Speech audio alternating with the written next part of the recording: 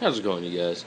So, quick little update. You guys know I've been using these tumblers.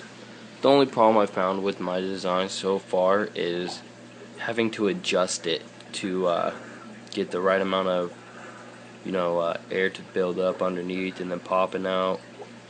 So here's the first design. You know, the airline goes through the top and then meets the net down there but uh, you can see a lot of air is escaping before it builds up. So you get you know a little bit of bounce not much. Now I was thinking about it. You want all the air to come underneath the netting so it can build up. That's where we come to this design.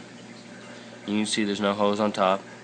The hose comes through the side pumps air directly underneath and you can see all that air builds up before anything escapes